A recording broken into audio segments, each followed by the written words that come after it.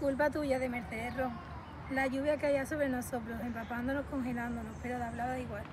Nada importaba ya, sabía que todo estaba a punto de cambiar, sabía que mi mundo estaba a punto de desmoronarse. Ya no hay vuelta atrás, ni siquiera pude mirarte la cara. ¿Cómo puede haberle hecho eso? Sus palabras me clavaron en mi alma, como cuchillas que se desgarraban dentro de mí hacia afuera.